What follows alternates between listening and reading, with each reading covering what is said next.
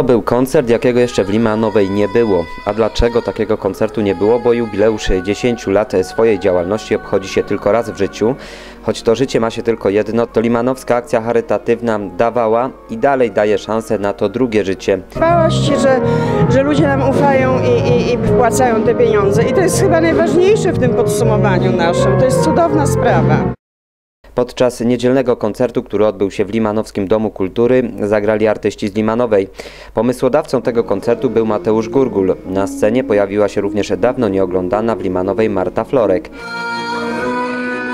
Ciepłym głosem przy akompaniamencie Gurgul Band wraz z którymi zagrał Przemysław Sokół dało się odczuć niesamowitą atmosferę tego wieczoru. Po latach wracam do tego samego miejsca i, i tak jak powiedziałam na scenie widzę właściwie te same twarze.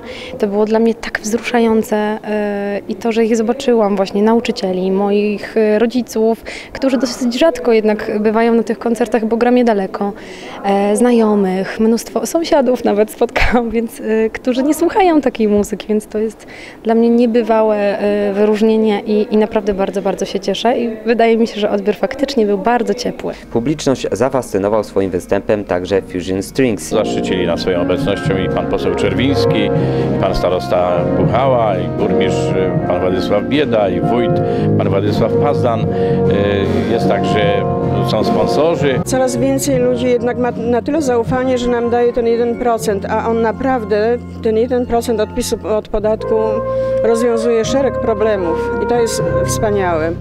Oby nigdy nie odebrali nam tego. Jubileusz dziesięciolecia działalności Limanowskiej Akcji Charytatywnej zakończył się odśpiewaniem tradycyjnego 100 lat.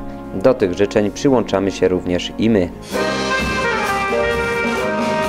Józef Budacz, TV28.